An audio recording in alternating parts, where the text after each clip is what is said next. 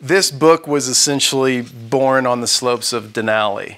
Um, I, I, uh, it was it was there. That's where I've always gone to be with the earth is into the mountains. That's my favorite place, and it was there that I felt the pull to go to Iraq to report on what was happening there, and then later back in the mountains again. It was there that I felt pulled to do this book. And um, I had moved up to Alaska in 1996, just a mountain climb. I'd been out of college about five or six years. Had all I wanted to do was climb. I didn't care about anything else. So I got into mountaineering just so I could basically be up there. And um, it wasn't about conquering or anything like that. It was just about being up in that that place on the earth. And um, I don't. I didn't really know why I always felt pulled to the mountains. I'm from Houston, Texas. It didn't make a whole, but not a lot of big peaks in Houston, the Houston area. Um, but I, the first time I saw a mountain, it was like that's that I got to go there. And um, so I. Uh, but then moving up to Alaska in '96, I was slapped in the face with the impacts of climate disruption already most people in this room probably already know the Arctic's warming twice as fast as the rest of the planet and has been.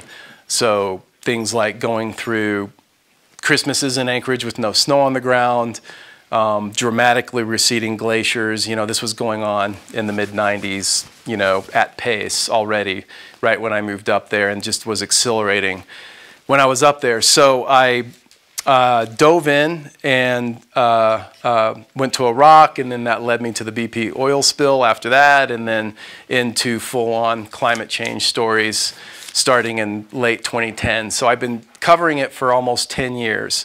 Around 2013, I did a piece for Tom Engelhardt's website, tomdispatch.com, called Are We Already Off the Climate Precipice? And it was the first piece where I really connected all the dots of here's what's happening in the permafrost, here's what's happening with acidifying oceans, here's what's happening with losing ice, sea level rise, um, CO2 ppm in the atmosphere. Connect all the dots, interviewed a bunch of scientists, and really got the memo. We're off the cliff.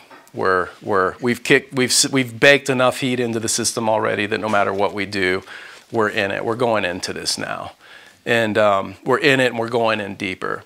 And uh, my response at the time was several months of depression, literally fetal position at times, fight or flight kicking in, but not going to leave the planet. So, you know, I, I start that started my process of grief, and um, what am I going to do about this? And the book, uh, a few years later, uh, a couple of years later, the idea for the book came to me again from spending time in the mountains, and I realized yeah, I, I need to go write this book. And so I believe that the fundamental, the fundamental cause of climate disruption is our hum, humanity's overall disconnection from nature. That if we had been living closer to the earth as indigenous populations always have, that uh, I'd like to think I'd like to think that this we wouldn't be in this predicament today. Um, and so I felt one thing I could do, kind of like I went to Iraq to to um, humanize the Iraqi people and bring that information back here, uh, I felt like I could go to some of these frontline places where the changes are happening the most dramatically and fastest and the most obvious, and and really try to give people a visceral feeling uh, or experience of what it's like to go to those places. So I sought out scientists in different places from the Amazon to South Florida for sea level rise to uh, Craig Allen here in town, I did a whole chapter on trees, to Sequoia National Park, to Glacier National Park, back to Denali, up to Barrow, which is now called Utqiagvik, the native name in Alaska, to St. Paul Island and the Pribilofs, um, and a lot of other places to try to bring people and show people here, here's what's going on on the planet and here's how fast things are really going. And so the book, it's funny, I came into it with, uh, I write these climate disruption dispatches for Truthout, where I work as a staff reporter. And these dispatches started out out of a lot of anger and panic. And if you read, it's essentially I, I, I, collate the most recent scientific studies about what's happening. I, I break it up into the elements: earth, air, water, fire, and put it all in one place. And it's basically 2,500 words of apocalypse once a month. And it's just the last 30 days. You know, here's records set. You know, this extreme event, uh, climate event. Here's the latest, latest studies, et cetera. And for a long time, it was like I'm gonna like I'm gonna beat people awake, whatever it takes. This is what we're gonna do. And so I came into this book thinking it was going to be like 75% that and climate dispatch, and then 25%, okay, like some personal writing, some nature writing. But when I started doing the book, it flipped. Like, you know, you know, when you start doing art, it has a mind of its own, and and uh, it wasn't me. I, I, believe today it was it was Gaia working through the book. That the book basically flipped it, and the deeper into the book uh, I got, the the bigger that flip occurred. To where there's obviously tons of science in the book. I went out into the field with scientists. There's dozens of pages of footnotes. Um, it's it's airtight factually, but it's it's really my own process of going out into the field and having my heart broken over and over again, seeing what's happening, and then also falling that much more in love with this planet, getting to go to these places that are incredible. Um, so I'm like I did at the event last week. I'm going to take folks to a couple of different areas and talk about a couple of these impacts that are happening, and then um, take it from there. So. Uh, obviously i you know people have asked me why ice you know you could say the end of coral you could say the end of the sequoia you could say you know all these things that i cover in the book but uh, being a mountain guy i have a thing for ice and glaciers so it's basically my personal bias um, um, but also it's uh, well i'll talk about some of these impacts now so the first place that I want to take you. I mean, I, I went out um, on glaciers in a couple different places in Alaska with uh, U.S. Geological Survey scientists, but then I also went um, to keep it closer to home here to Glacier National Park. Uh, um, how many folks here have been to Glacier National Park? All right. Yeah, good. Before it's gone. So I went out there and I met with a guy named Dr. Dan Fagre. He's a USGS research ecologist and he directs the Climate Change and Mountain Ecosystems Project. And he's also the lead investigator of the USGS Benchmark Glacier Program. And he's been working in the park there since 1991.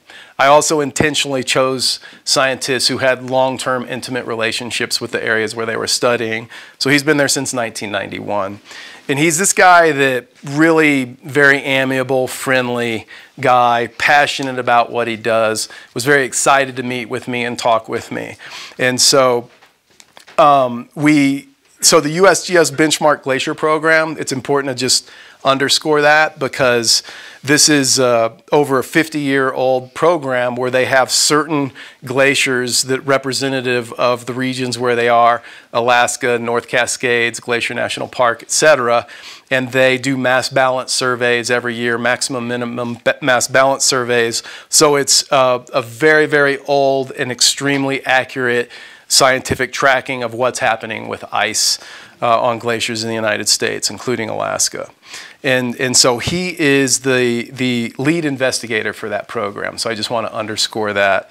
So we, uh, I met up with him, and uh, I want to just read a little bit here from when we went out into the field that day. Um, I met him at his office. He's in West Glacier National Park, right at the entrance there. And um, we uh, um, went out into the field we, together. And so we started talking about what, what he was seeing, and he says, This is an explosion, a nuclear explosion of geologic change, Descri- as he describes the impact of climate disruption while we look out across a valley together. This is unusual. It is incredibly rapid and exceeds the ability for normal adaptation. We've shoved it into overdrive and taken our hands off the wheel. He, uh, at this point, we're on top, we're up at Logan Pass. You drive up this stunning going into the sun highway, and it's this pass. So we're, you know, really good view of a lot of the park, and it's a very, very hot day. He takes me to stand in another area up there, which was basically just slush. The people who built the Logan Pass Road had to deal Logan Pass Road had to deal with a glacier here, right here he says, pointing down to our feet. Now there is no glacier.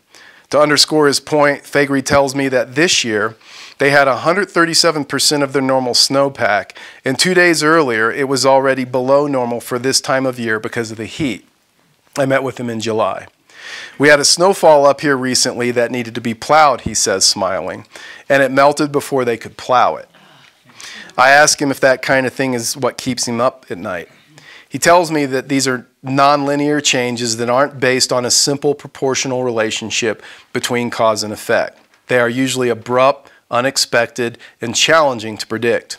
Quote, the aggregate of multiple nonlinear changes is enormous in orders of magnitude, and that's what keeps Dan Fagre worried at nights, he says. After a pause to let all that sink in, he goes on to explain that the Earth has a resilient system that has been through much worse than what we've caused ice ages, volcanism, etc. So many of these things will recover, he says, of the glaciers and forests that are vanishing before our eyes, but not in a time frame that includes humans. We return to the car and continue driving down the other side of the pass. We roll down our windows, and neither one of us talks for a while. I know it's a sensitive topic to bring up with scientists, and most of them avoid it at all cost. But I decide to ask him what it's like for him personally to watch the glaciers vanish before his eyes. It's like being a battle hardened soldier, he says, but on a philosophical basis, it's tough to watch the thing you study disappear. I watch him drive for a couple of silent moments, then I look out across the valley and listen to the waterfalls as they stream down toward the river far below us.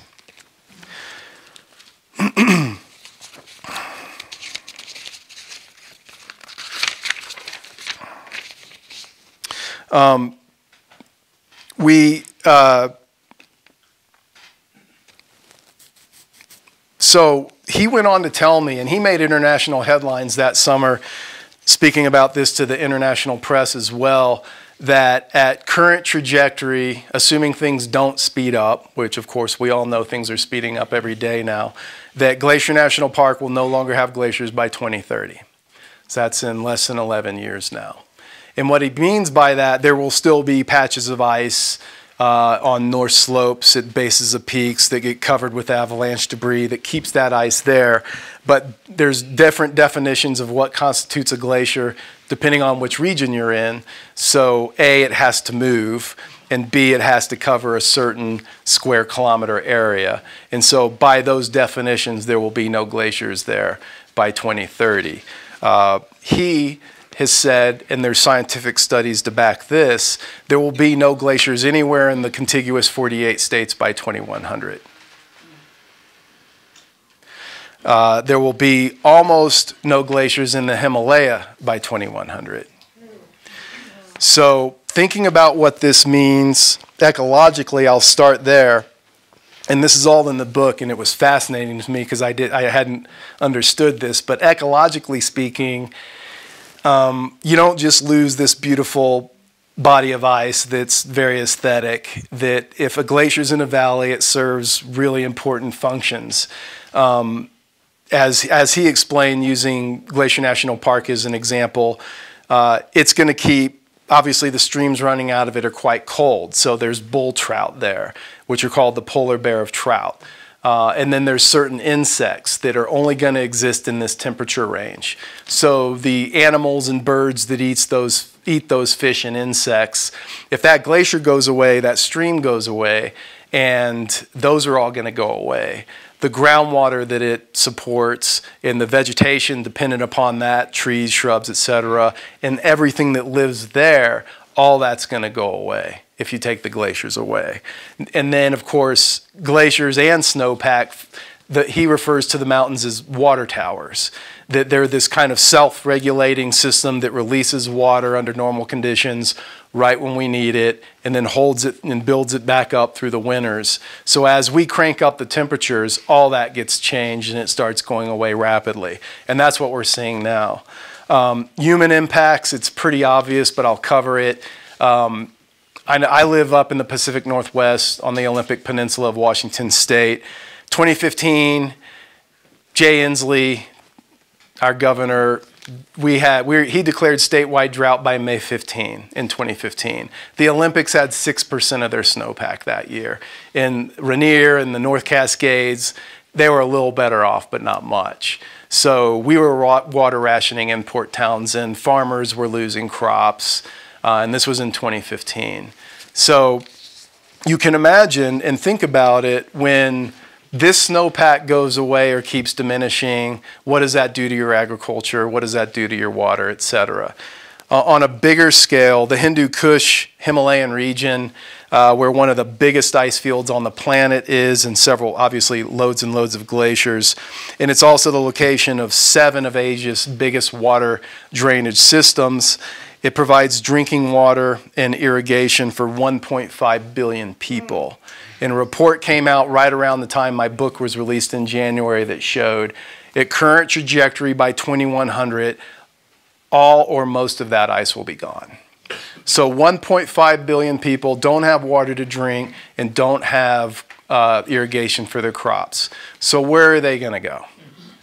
And then what happens to the regions where they go? Is there going to be enough water? You see where this is going. And we're talking 2100. This is not long from now. So a kid born today, you know, is, is going to see this, is going to live through this. And this is, this is baked into the system now. This is what's happening.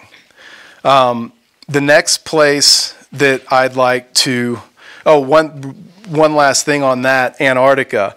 Um, a, a, study was published. It was the lead author was Dr. Eric Rignot, UC Irvine, published in the Proceedings of the National Academy of Sciences. It was it came out literally a day or two my, before my book was published. It was kind of crazy timing. In that study, he's one of the leading Antarctic glacial scientists out there. And that study showed that just since the 1970s, melting across Antarctica has increased sixfold and he was he was interviewed by the New York Times in the wake of that, and literally said, "quote Antarctica is melting away." So we're we're talking about this. Then dovetails into the next topic I'd like to cover, which is sea level rise. So for sea level rise, uh, I went down to South Florida very obvious place. I imagine most of you are aware of what's going on down there with sea level rise, but it's also where some of the leading experts on the planet studying this are located. So um, I first met with uh, Ben Kirtman. He is with University of Miami. He is also an IPCC author. IPCC is the International Panel on Climate Change. And uh, um, he, he, he informed me about you know, the causes of you know, the leading contributor to sea level rise obviously is melting ice, particularly land-based ice. Uh, another one is thermal expansions of the oceans. As water warms, it's basic physics. It expands, so it takes up more space. Uh, and then current changes, and then uh, wind changes. And so that makes all those four things are active. The impacts of them are active and at their most intense, literally right where Miami Beach is. So um, um, uh, it's another reason why these guys are there studying it, uh, men and women, sorry. And so he, he talked to me about worst case IPCC projections of sea level rise, which is around um, three to four feet, I believe, by 2100. Uh, and um, um, he was pretty middle of the road about it. When I was there talking with him, he said, well, uh, National Oceanic and Atmospheric Agency just uh, uh, increased their worst case predictions from like eight feet to eight and a half feet by 2100. Um, and, and then after Ben Kirtman, I went and met with his colleague, Dr. Harold Wanless at University of Miami Coral Gables, a different campus. Wanless is professor and chair of the University of Miami Department of Geological Science.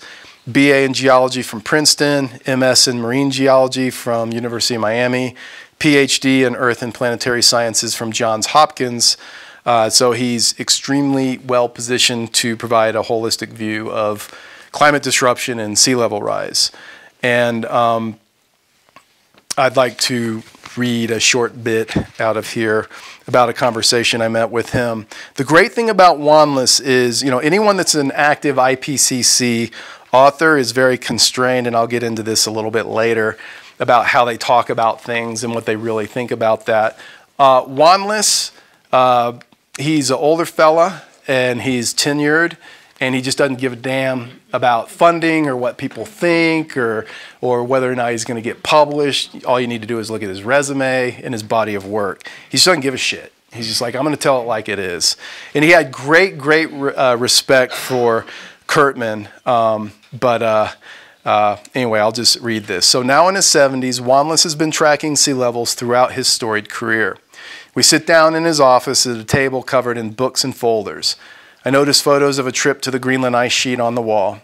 I begin to tell him that I had just met with Kirtman and Bruce Mowry, the city engineer of Miami Beach.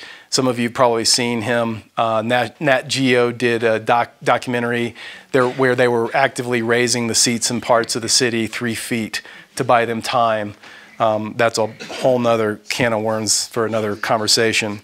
Um, and I'd learned about Kirtman and Mowry's perspectives on sea level rise, and Wanless just cut me off. He says, We've screwed ourselves. We kicked the bucket. We've gone off the cliff. 93.4% of the global warming heat we've produced is in the oceans, and half of that went in since just 1997.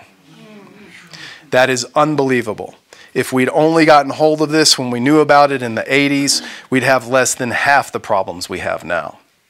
Wanless, who has been watching things go from bad to worse for so long, is taken aback by the business as usual mindset of the general public. We have to stop doing this, he continues. With population increasing, with industrialization ongoing, and with the sad exuberance about opening the Arctic as an opportunity to get more oil and gas, shouldn't we be thinking, oh my God, what have we done? We continued uh, to talk. Um, he went on to talk about uh, at length the Greenland ice sheet and the Western Antarctic ice sheet, which right now are the two leading contributors to sea level rise. And uh, that he, he personally said he couldn't see us seeing probably anything less than 10 feet sea level rise by 2100 and cited a report, a peer reviewed study published by James Hansen uh, formerly NASA scientists, uh, saying we could see 10 feet by 2050. So he, we talked about, for example, how Turkey Point nuclear plant, which is just south of Miami, six feet elevation, uh, two reactors there. Uh, they just started building a third. Wanless is pissed off. Uh, he said things like, you know, Miami's the entire water supply for Miami is this very thin lens of fresh water, not very far underground. It's not a matter of if, but when that starts getting contaminated by uh, encroaching seas. Uh, if you go to Miami and Miami Beach, there's a thing they call it sunny day flooding. Uh, high tides, it hasn't rained for weeks, sun's out, people are just putting on their galoshes and walking through the streets when it's the ocean coming in because it's high tide. Um, it's already happening, so it's an amazing thing. And when I was there, Rick Scott was still governor. He's now senator. This is the guy who, when he was governor, forbade uh, state employees from using the words climate change or global warming. Um, and and Wanless was incensed. He was incensed at these politicians. He called them criminally negligent, especially those that actually knew what was happening. And he singled out Marco Rubio. He says, I know for a fact he knows and he's doing the bidding of his financiers anyway.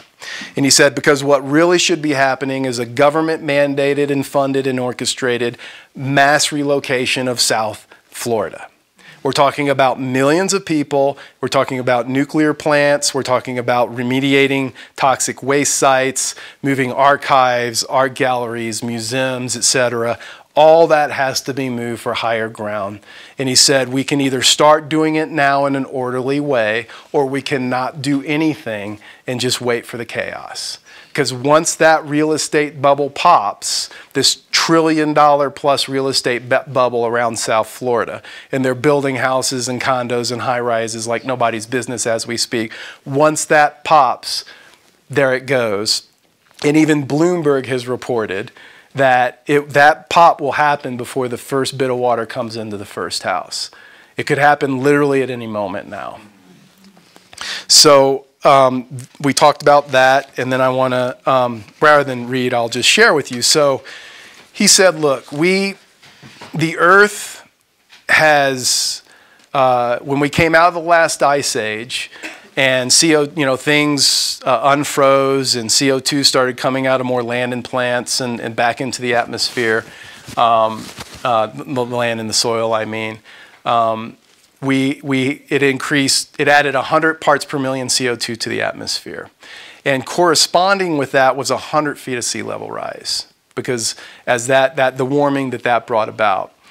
And he, he said, so I said, um, you know, well, we, I thought about it. Well, we were at 280 ppm before the Industrial Revolution began.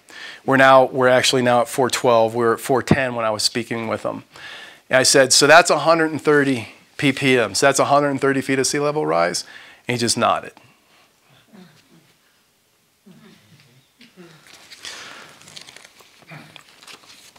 Um,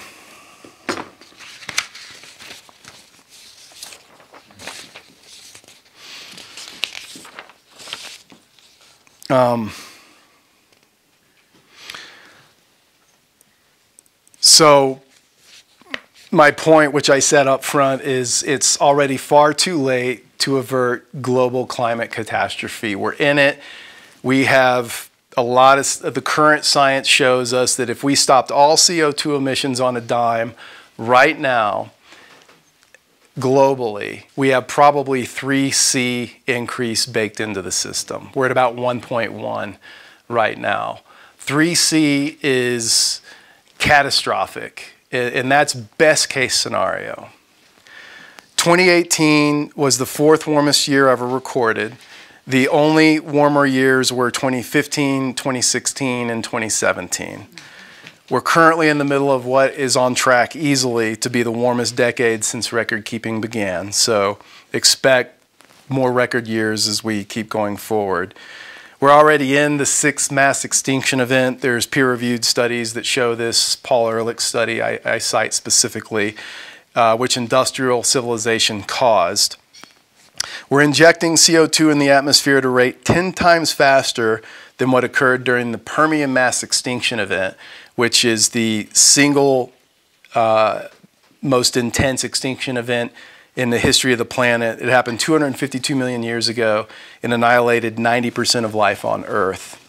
Our current extinction rate is a thousand times faster than a normal background extinction rate and is already faster than that of the Permian mass extinction. Uh, but it's really hard to take in these truths and what they mean. And, and already this is enough information to just take it in and think about it and think about what it really means. Um, and, and the way I see it is there's different reactions to this. And uh, there's on the, on the right end of the political spectrum, there's denialism. And I look at this when I'm in a more compassionate place as the compassion stage of the Elizabeth Kubler-Ross five stages of grief. That, you know, this is so overwhelming and scary and grief producing to look at this information about what's happening to the planet that uh, it, it, I understand that some people just want no, it's not happening, climate disruption is not real, blah, blah, blah. But there's also a type of denialism on the left. And so for example, the hoopla that came out last fall around the IPCC report that came out that said we have 12 years left to avert catastrophic climate disruption. Nonsense. 12 years. There was not one new piece of data in this report. They're using all IPCC data. Everyone, including IPCC authors that I interviewed for this book, said this data is lowest common denominator. It's not true science. It's consensus science. There's a very strong political element to it. And, and, and at best, that data, when these assessments come out, is at a minimum 10 years old. IPCC projections from the beginning, if you look back historically, and if you look at their future projections of what they project to happen each year, uh, observational reality consistently outpaces their worst case predictions. Got it? So there's that. But we hold the IPCC to this gold standard. Governments around the world use them to make preparations. Well, not ours, but other governments around the, some governments use them. So that's a form of denial. The new Green Deal, you know, in 10 years we can transform our economy. This, this idea that we can keep maintaining this kind of lifestyle, that's a form of denialism. You know, other things like, you know, geoengineering, which is insanity. Uh, Harvard, you can go to their website of the school right now. They have a geoengineering study department now. So this is coming. Brace yourself for this. And geoengineering is total insanity. Um, and then other forms of denialism, uh, you know, there's lots of other examples even across the left. And none of these, I argue, take into account the fact that we're already off the cliff. Every single one of these is an attempt to fix something that's not fixable. And the thing I keep coming back to on that is what's already baked into the system. And as Dr. Wanless says, whenever anybody brings up this, we can fix it, we can mitigate it, he says, How do you get that heat out of the oceans? Because that's enough heat in the oceans that if, if the oceans hadn't absorbed it, our, our atmospheric temperature today would be 97 degrees Fahrenheit hotter. We'd be well on our way to Venus. Um, today's carbon dioxide levels at 412 parts per million are already in accordance with what historically, we're talking about geologic history, had brought about a steady state temperature globally 7C higher. We're just, we've already done the injury to the earth. We're just waiting for the earth to catch up. We're waiting for the rest of the ice to melt. We're waiting for the oceans to warm up. We're waiting for more species to go extinct. The oceans are now literally overheating, deoxygenating, and acidifying. Insects, which are, an, are essential for the proper function of all of Earth's ecosystems, as they are food for other creatures, pollinators, and recyclers of nutrients, are going away. Uh, uh most people in this room are probably familiar with several reports that have come out recently, the most damning of which said we're right now on a trajectory, we're losing 2.4 of the global insect population per year. And if that continues, assuming it doesn't accelerate, no more insects by 2100, but within 100 years, within 100 years. No more insects, no more food chain, no more humans. And that's because of climate disruption and habitat loss and pesticides. Uh, since just 1970, 60% of all mammals, birds, fish, and reptiles are gone. And as I said the other night, what would we call it if there'd been a 60% reduction in the human species since just 1970? So the IPCC's worst case temperature scenario is 4 to 5 C by 2100. The International Energy Agency stated that preserving our current economic paradigm virtually guarantees a 6 C rise in Earth's average temperature before 2050. Shell and BP analysts expect the globe to reach as much as 5C warmer also by 2050. So the piece that I wrote, that I cited earlier for Tom Engelhardt in 2013, uh, it's clear now, six years later, after a sober reading of all the latest climate science indicates we're now genuinely in free fall. We're clearly in a nonlinear situation of climatic disruptions and their effects across the planet. And we're locked into a course of uncontrollable levels of climate disruption, bringing starvation, destruction, mass migration, disease, and war globally. And there can no longer be any question that life as we know it is ending. So, what do we do with all of this? And you know, looking at the possibility of even the extinction of humans, let alone all the other species that I, have been citing statistics for. And I, I got to a point um, at the end of this book, I got right up to the concluding chapter and was basically like, how the F do I end this book? You know, I have no idea. And I, I had this, this ending written And um, I felt like I had genuinely done a service for the earth in writing this book, and the support came, and I was carried all the way through it. And I feel like that was coming directly from the earth because I was serving her. And um, it also brought into my life uh, a Cherokee elder, medicine man named Stan Rushworth. And he teaches down at a little community, Cabrillo College in Aptos, California. And um, I met him at a gathering last June, and he brought in a lot of important information for me that ended up completely changing the, end of the ending of this book.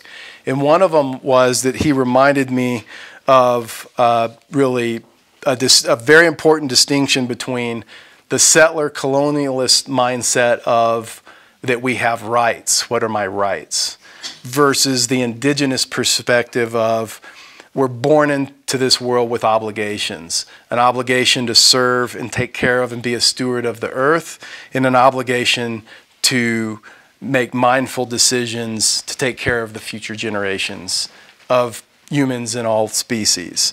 And so if I if I try that on and I start looking at it making my decisions through that lens of when I get up each day, what's my job, what are the work what's the work I'm going to do, am I looking at it through a lens of in what way is this best going to serve the earth and future generations?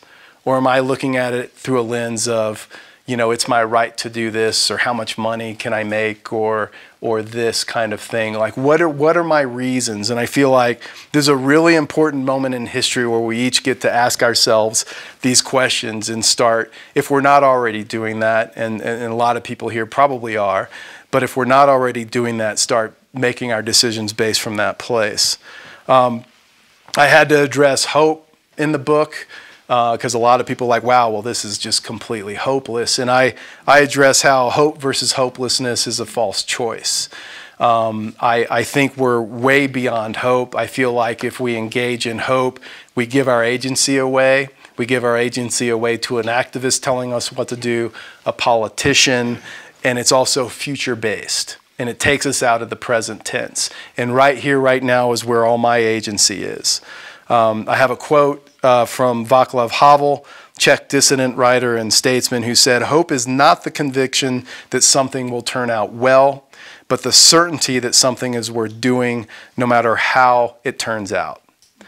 And I think that that is now my new operating system. Because if I get engaged in hope and I get in, attached to the results of my actions or what our actions are, I'm going to hang it up and I'm going to quit. And I've, I've felt like quitting and I've taken weeks where I haven't done anything because I've been in that place. But it comes down to that moral obligation. And as Stan put it, how am I going to choose to comport myself during this time? Because if we are indeed going out as a species, and it looks like we are, but we don't know. And if we've never been here and we don't know what's going to happen, and no matter what, we are obliged to serve the planet and to serve future generations. And that means that we are obliged to do absolutely everything in our power to try to make things better, even just a little bit. And so, um, you know, I, I don't try to tell people what to do. I feel like this answer has to come from deep inside. And Stan shared a story with me where he would bring, he's brought various elders into his class, indigenous elders, and they've given these deep talks and for three hours. And then at the end of them, the students ask them all these questions. What do we do? What do we do about what's happened to indigenous people? You know, we wiped out 96%, we being colonial settler culture, wiped out 96% of their population nationally. Um, and they talk about all these other issues. And so they're confronted with, well, what do we do? And he said several of them all just would do this. And they'd sit there for a minute and they'd say, you have to think. You have to think about what you're going to do. Because if I tell you what to do, when things get really, really hard, as they will, you're going to lose the gumption to follow through. But if it comes from in here, you're not going to, because you're going to know what to do and you're following your own heart. And so, um, Stan's elder, Darryl Wilson, he's from the Pit River Nation in Northeast California he shared with me uh, a story about um, that I'm, I'm going to read it, I think, and in order to uh, come into my conclusion here before we go into a Q&A, because uh, I like to quote it directly. Um, Wilson tells a story of Mis Misa, a small but powerful spirit that inhabits Akoo-Yet, which is their, their name for Mount Shasta. Mis Misa is a spirit force that balances the earth with the universe and the universe with the earth. Wilson says that Akoo-Yet is, quote, the most necessary of all of the mountains upon earth, for Mis Misa keeps the earth the proper distance from the sun and keeps everything in its proper place when wonder and power stir the universe with a giant yet invisible canoe paddle. Mis Misa keeps the earth from wandering away from the rest of the universe. It maintains the proper seasons and the proper, proper atmosphere for life to flourish as earth changes seasons on its journey around the sun. The mountain, the story tells us, must be worshipped because Mies Misa dwells deep within it. To climb the mountain with a pure heart and with real resolve and to communicate with, quote, all of the light and all of the darkness of the universe is to place your spirit in a direct line from the songs of Mis Misa. So, uh, I'm sorry, is to place your spirit in a direct line from the songs of Mis Misa to the heart of the universe. While in this posture, the spirit of man slash woman is in perfect balance and harmony. For as long as Mis Misa's instructions are followed with sincerity, society will be sustained. Its inhabitants will survive for the long term. Quote, the most important of all the lessons, Wilson said, it is said, is to be so quiet in your being that you constantly hear the soft singing of Mis Misa. However, the story also warns that by not listening to Mis Misa's song, the song will fade. Mis Misa will depart. Quote, and the earth and all of the societies upon earth will be out of balance, and the life therein vulnerable to extinction. And so, for me, I always wondered why I was drawn up into the mountains, this Texas boy from Houston. Uh, why have I always gone there? Why have I done these crazy trips on a lot of high mountains and had near death experiences? Like, and then all of a sudden, when Stan shared this story with me in June, I, I got it. It's like, that's where I go to listen. And that's where I've heard these pulls to go to Iraq, and that's where I heard the pull to do this book because going to Iraq, I had to push through a lot of stuff, but I stayed with it because it came from here, which came from here. And the same thing with working on the book. It came, it came from here and it came from here. And I feel like we're at a moment in history where things are intense and they're get, about to get a whole lot more intense globally. And I feel like we're each in a position where we need to find a, a lot deeper place to get our direction and our resolve about what to do at this at this moment. So I like to conclude these talks with just sending you home with homework, which is two questions to contemplate. And one is, where do you go to listen to Mis Misa? And the other is, when was the last time that you went there? Thanks, everybody.